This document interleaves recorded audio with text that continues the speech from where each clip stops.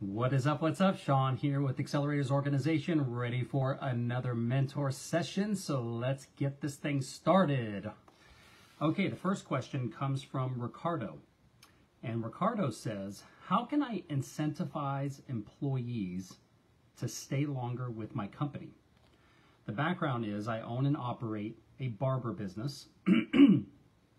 I feel like if I can find a way to give the employees stock share or bonuses, that would incentivize them to stick around more and grow with the business. If there are any strategies that have worked out there, I would like to hear about them. Thank you.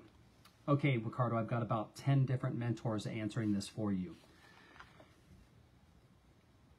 It's really important that we think about how to incentivize our team members based on how they want to be incentivized. We've talked about this, you and I, quite a few times, and we've also talked about this at the leadership event that you came to, and you've heard the mentors talk about this in team building. Remember that all employees and team members are not motivated and incentivized equally but there are some things, of course, you would like to do to keep people to stay with your company longer and longer. And I don't know much about the barber industry as it relates to people staying with you and your firm for years and years and years. But the easiest way to find out what it would take to incentivize somebody to stay with your organization for a long period of time is to ask them. Here are some things that immediately come into my mind that I would want to talk to them about. What if I, for every year that you are with the company, I give you X amount of dollars towards your continuing education in the form of sending you to conferences, to um, different barber technique schools, um, buying more product, a set of scissors and shears and all those different things. Every year that you stay on board with with premium barbers, your incentives will increase. It could be a combination of a lot of things. Think about like a cafeteria plan. You know, cafeteria you walk through and you just pick out the different things that you want and it's kind of just, there's a whole smorgasbord. Let, you could also look to let your barbers pick and choose what things are good to them. So say, listen, each year I'm going to give you X amount of dollars and these dollars can be used towards these bucket items each year, and that dollar amount increases each year. I'm always careful, and I learned this from my own businesses and just in networking with other higher level coaches and entrepreneurs. Very, very careful about giving up stock or equity in my company. I don't think it's a big thing to think about profit share as a problem, but in some way, shape, or form, you are already doing a profit share when your barbers are getting a, a, a piece of the, uh, the revenue in which they're providing the service. They're already on that form of, of uh, compensation plan. I don't know if there's going to be enough money in your business for you to say, I'll give you back, I'm going to split up 20% of the profits among all the team members something certainly to take a look at when your when your organization gets to a certain level. I don't know if that's something at this stage of your of your cycle that you're ready for that. I would look to have more and more meetings with my barbers, find out what's important to them, build relationships, understand their goals, what they're working towards. My guess is, is that at some point you're going to come across some barber, one of your barbers that's going to say, I'd like to own my own location someday. And you say, great. Why don't we start with premium barbers as one of the first places? If you can help me recruit and fill up all of these chairs and keep it consistent, and we make you a manager and you manager manage the team, I might go into business with you and be your your investor in yours and you can run this shop and maybe I'll go open up another one and start building another one or you go open up the next one and build the next one. So those are some things that I think could pay bigger dividends for you as opposed to thinking profit share and stock and things like that. But stock, I certainly would stay away from because anything that would legally put them in ownership in your business, I don't think is you're at the stage that that be that would be something that'd be beneficial for you. Okay. All right. Excuse me, my voice is gone. I have I have COVID right now in case you didn't know. Okay, the next question comes from Greg, and Greg says, I am contemplating purchasing a leads list. What is the best way to find a company that can provide me with a list that is right for my business? The background is James answered a question about sales pipeline and he said it's time to buy a leads list. I've not tried that before and I'm wondering what reputable companies are out there to do this. James also mentioned Tom Black can help with scripts and methodologies. Any guidance would be appreciated. Okay, Greg, I've got about uh, seven different mentors answering this.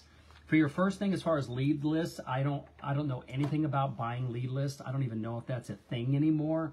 If you want to, if you want me to put you in touch with James directly, if he has access to reputable lead list companies, shoot me an email.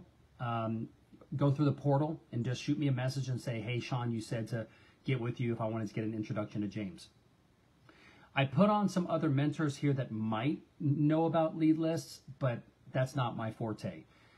Um, as far as your sales scripts and things like that, this is along the lines of sales coaching, which you and I have spoken about. If you'd like to get to a point where you hire a sales coach and you want to work with a sales coach to work with you, I would budget $1,500 a month for a minimum of three months.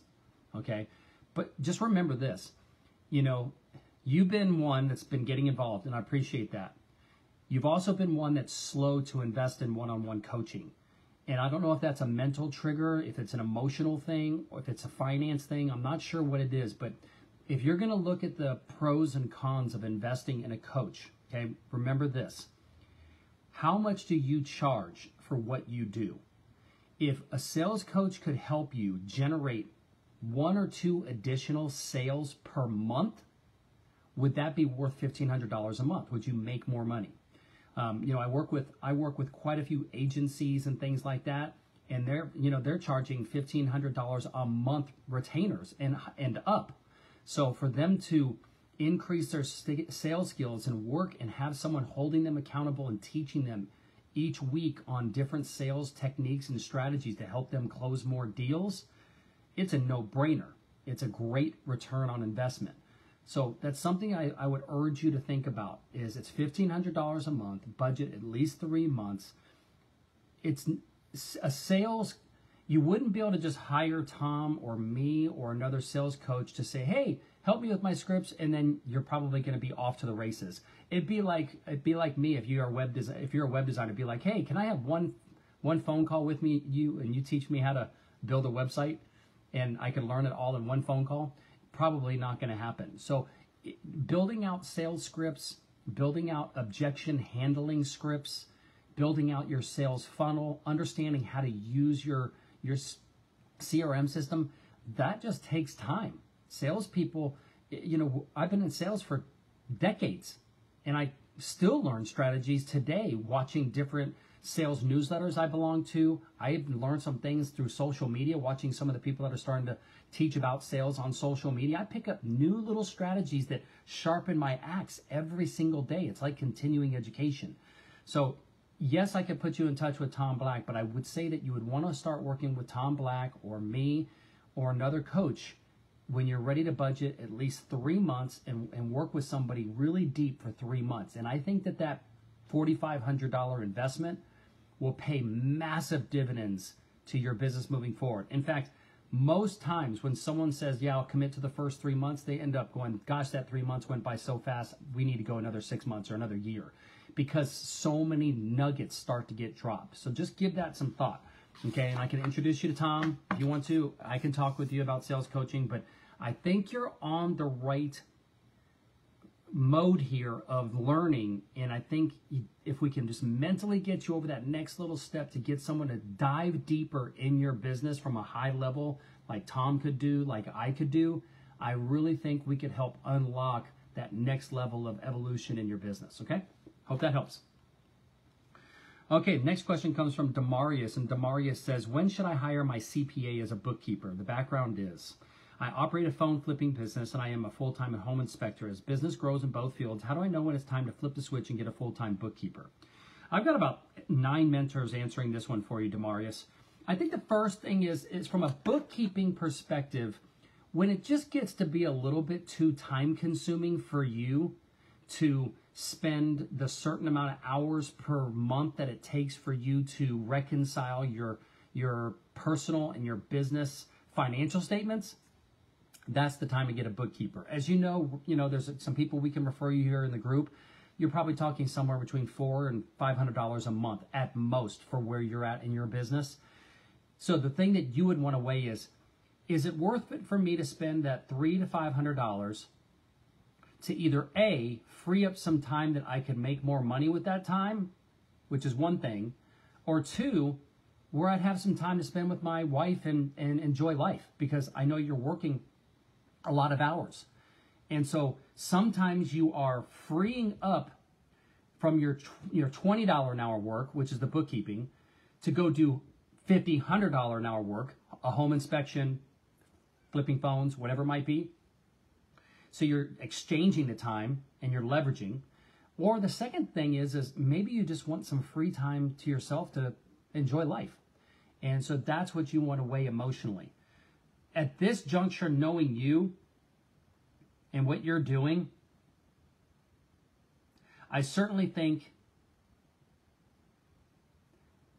there can't be that many transactions that are happening within your QuickBooks that as long as you have your QuickBooks set up correctly, I don't think you would need to hire a bookkeeper at this juncture because the transactions are going to be relatively easy for you to reconcile. I think if you get to a point where you're spending more than 10 hours a month on reconciling your, your QuickBooks, that's when you would want to get, you know, a bookkeeper. But until then, that $10, that 10 hours a, a month, as long as you can do that when you're not doing inspections, whenever, you know, at home, on the weekends, at night, early in the morning, whatever it might be, I would like to see you saving that money or, or investing it back in your business as opposed to freeing up some of your time right now. Just because I know that you've got big goals. Okay? Hope that helps, man. Okay, the next question comes from Carrington. And Carrington says, How do you get featured on podcasts consistently? I run a product photography agency focusing on creating unique, scalable content for brands. I have been a guest on two podcasts, one which was through a referral, the other I met at a networking event. I'm wondering if expanding my audience through podcasting is a viable idea, and if so, what are the best ways of going about finding podcast hosts and getting featured on them? All right, I've got four different mentors answering this for you that have great experience getting on podcasts. Um, the first thing is, what are the best ways of finding podcast hosts? Well, all you got to do is go on to any podcasting application and search podcasts, and there you go. I mean, finding it's like finding investors. Look for somebody that has money, and there's a potential investor. They're everywhere. So same thing with podcast hosts. You'd have to figure out exactly what what value you could bring to a podcast host within what certain industry or niche and then just reach out and start contacting them. Um, most times, it, you know, I'll tell you this, right? I know that Brian Clayton, who I'm going to have answer this for you, he has been going on a ton of podcasts. And Don Williams, who I'm going to have answer this, he actually has a podcast. Peter's been on a lot of podcasts. I think Paul David has. I have. I hired a PR agency that reached out to all the, the podcast companies, and for me, it was a waste of money.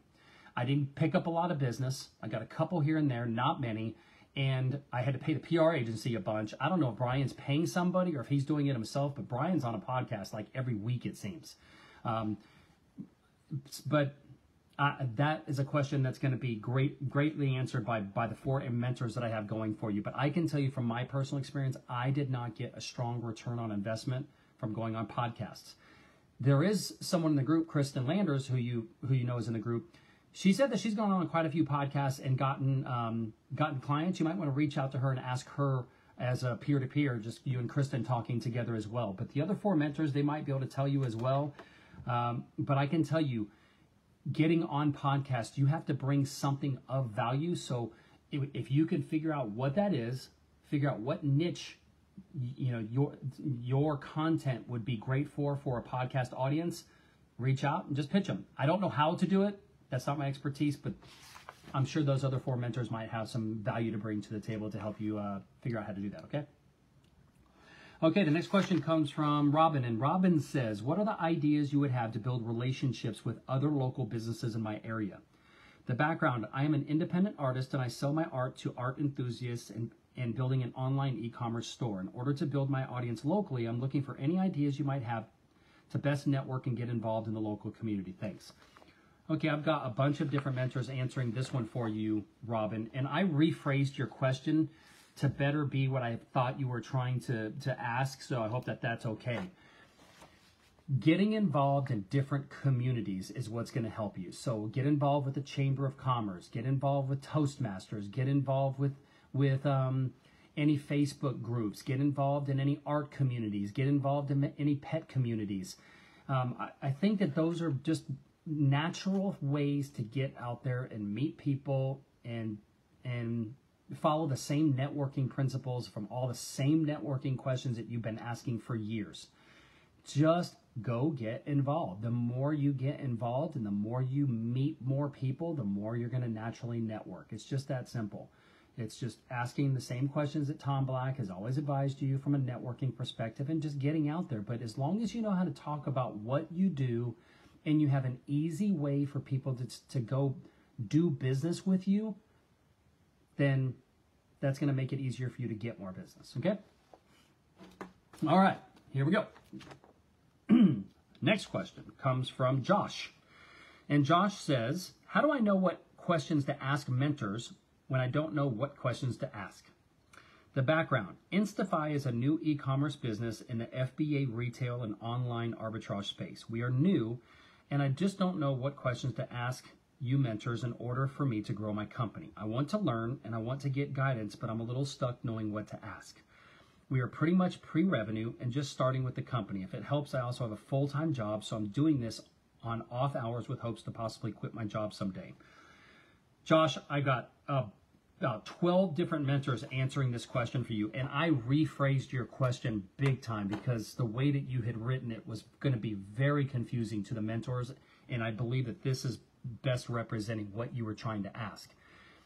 I think that this is the this is a great question to ask, and I'm interested to hear what the other mentors have to say. But the bottom line is is ask questions that will help you reach your goals. So what is it that you're having a problem with?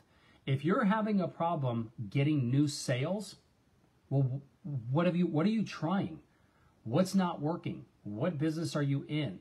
ask the ask the um, the mentors for ideas on how to find new products, source new products, negotiate pricing, um, how to do advertising, how to build an audience, how to drive traffic, how to use email marketing. There's so many different facets to your business, and I can't imagine that you know it all because I, from the weekly report you just did last week, you guys only sold two products. So obviously you have a lot to learn.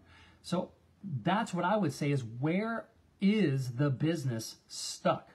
And if you're only selling two products in a week, you're stuck. There's lots of things that you could be asking.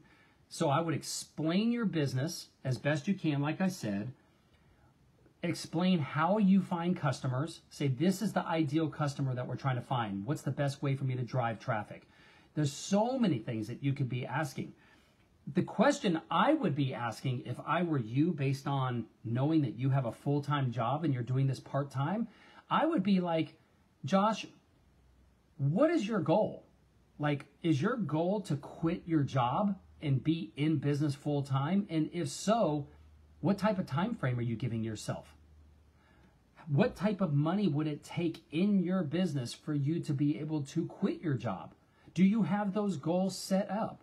You know, how many products would you have to sell based on your margins? Like, I would want to see you start setting some very specific goals with actionable timelines that you're trying to reach. Each and every week when I read your Flex Fridays, I don't even know what it is you're trying to work towards. I actually feel like you're like a data cruncher because everything is is very data oriented instead of goal oriented of of I'm trying to quit my job by this date. I'm trying to get $10,000 in sales by this date. I'm, it's, I, would like to see you more revenue and goal oriented to meet those challenges as opposed to I'm just going through the daily grind of just figuring things out just for the sake of figuring it out. I'm, I'm, I'm, I'm missing that there's a little bit of pressure on yourself to get to whatever this end goal is or this first end goal is, right? So those are the types of questions I would be asking is how far do I need to get along in my business until I can quit my full-time job? How did you get over the emotion of quitting your full-time job and going into your business full-time? Am I not a real on do I not have an entrepreneur spirit if I'm not willing to quit my job and go after my dreams and follow my dreams? Like these are some big questions that I would be asking myself if I were you, which is what is your goal? Do you want to be an entrepreneur? Are you, you know, what is the goal that you're trying to work towards? And I think that by diving deep into those questions, you're going to start to get even more questions in your head that the mentors can help you with. So just start asking instead of treating your Friday, Flex Fridays like here's my daily report card. I'd like to see some more enthusiasm and passion around what is it that you're trying to get done with this business? Like, where are you trying to get to, and how, what can we do to help you get there? You haven't asked once about how to source products, how to figure out what products are the right types of products that are moving. I don't know if you've networked with Todd, who is in your space. I mean, if it were me and I was in this business that you're talking about with Instify, I would literally be calling me and saying, "Hey, Shawn." I need to get a hold of Todd. How do I get Todd's phone number? Can you give me an introduction? Because Todd's in your space and he's a mentor and he's doing millions. He actually knows how to do what it is you're trying to do. That's who I'd want to learn from. So that, I hope that answers your question of when you don't know what to ask, tell us where you're stuck. Tell us where you're having a problem and let us try to give you some ideas. If those ideas aren't the right ideas, tell us where we're getting it wrong and try to give some more clarity into where it is that you're stuck. Cool? But I appreciate your discipline of doing Flex Fridays. I appreciate the discipline of having a full time job and doing this on the side. But as an entrepreneur myself, I'd like to see more passion around you wanting to actually live your life as an entrepreneur, as a business owner, taking the risk, quitting that job, going all in, following that passion. That is what really makes most entrepreneurs happy and excited about waking up each day. Okay? Hope that helps, brother. And we missed you at the summer social. All right. Next question comes from Michael. And Michael says, after you buy into a business, how do you quantify that you have got your investment back? The background is I bought into Ticket Scene a year ago, have been working at it, and have just quit my day job in April. So now the business is paying my wages, but it is only paying what I would have made in my day job. At present, I don't believe this is getting my investment back. Okay, well, listen, Welcome to the club of being an entrepreneur. Do you know how many do you know what the average income of a small business owner is, is in America? Do you realize that the average income of a small business owner in America is like around $70,000 a year and it might even be less than that? Have you ever seen that saying that I'd rather work 80 hours a week in my own business than 40 hours a week for somebody else and make the same amount of money? Welcome to being an entrepreneur. So I think that that there's something to be grateful here in that you now belong to a business that has enabled you to quit your day job and you're making the same amount of money working for yourself, that's a huge, huge breakthrough. Now, the question I would be asking is to your, I don't know how much percentage you own. I don't know if you did a debt investment, an equity investment, what the terms are of your operating agreement of how you get repaid back, or if it's just an equity investment and now you're going to make your money as salary and dividends. Like, I don't, know what your structure is, but that's where I would dig in if I was your personal mentor or coach. I'd be like, well, let's talk about the structure. How do you make more money? If now that you're in the business full time in April, and now you're full time and you're already make, covering the same exact wage that you had at your full time job, now what I would do is put a clear path together with your business partner or partners and say, hey, how do we all make more money together? You know, do I have a clearly structured compensation plan that includes incentive compensation as far as bonuses, profit sharing, commissions, or otherwise. Those are the things that are going to help you get to a point where you're going to receive back more on your investment. Most business owners that invest into a business, they don't make a return on their money until years down the road and the real return is going to be if and when you actually get to exit or sell the business. And, and then let's say you own 30% of the company and you sell it for $10 million and you get 3 million bucks. That's where the real return is. So the return that you've already received is that it's enabled you to quit your job and now you're in this business full time. That's fantastic. I would talk to my business partners and say, hey, it's on my mind that I want to actually make more than I was making at my day job. Can, I, can we put together a clearly concise compensation plan that makes me double what I was making at my day job? You know, those are those are conversations to have with your uh, your investor or with your partners. But I think it's great, man. I think that's fantastic. Okay, I'm going to answer one more question right now because I'm losing my voice. And then I'm going to answer the rest of the questions that are in the queue, which is another seven or so questions. I'll answer these tomorrow on a mentor session as well. The next question and the last one comes from Kelly. And Kelly says, What steps would I need to take if I wanted to try and find and hire a commission based salesperson since I don't have a budget to pay a salary, but I know there is business out there? The background is I own an excavation company specializing in site prep, trenching, and road construction. I am a one man show. I need to drive sales. I need more work.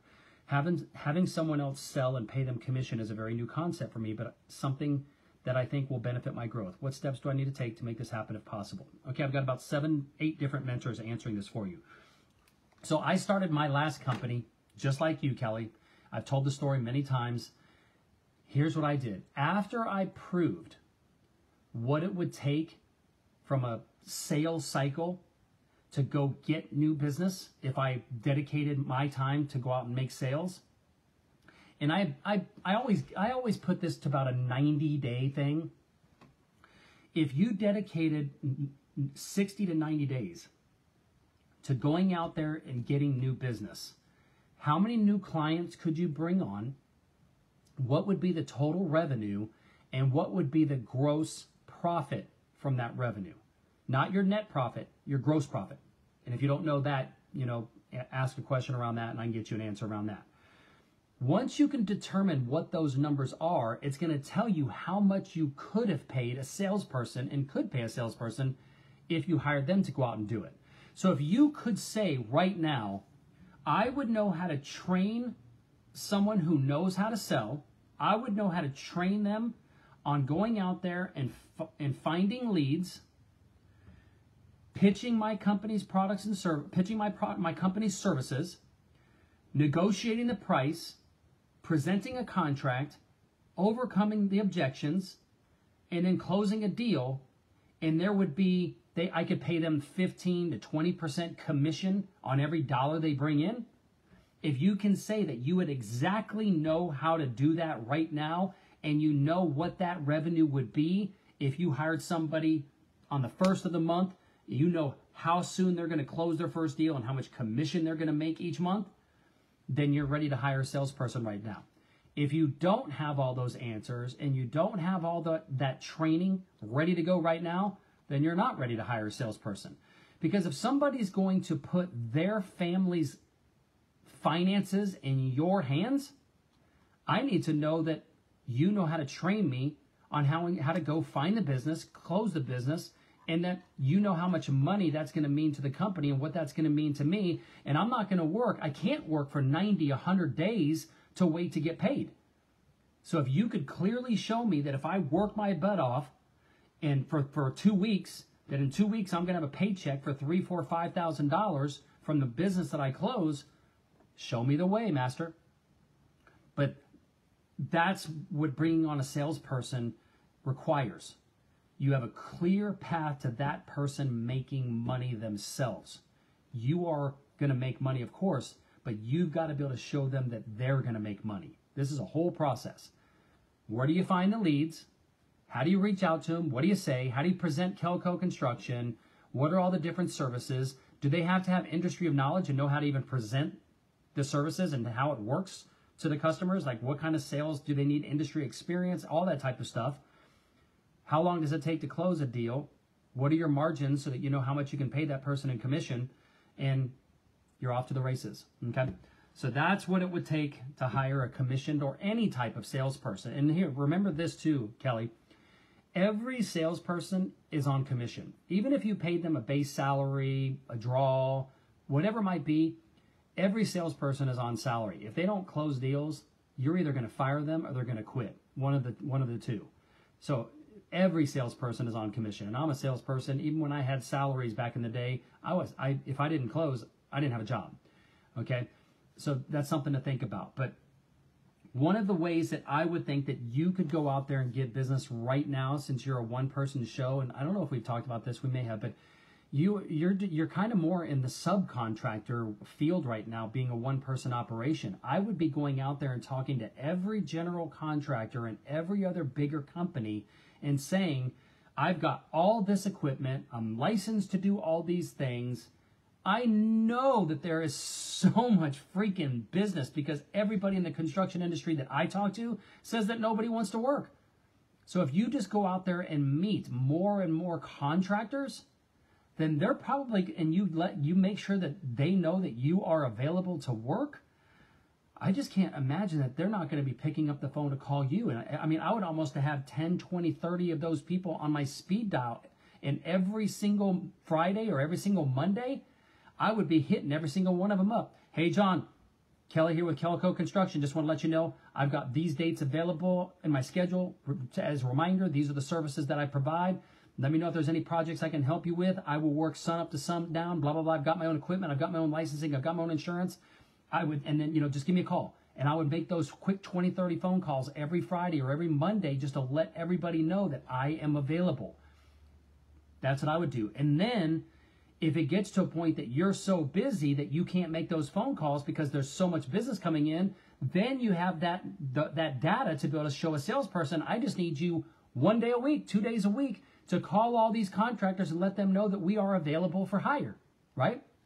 So it's it's a it's a numbers game. It's a touch game. Get in front of as many people, let them know you're available, and see who responds. Okay.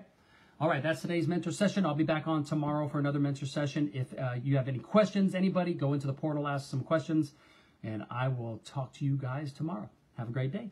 Peace out.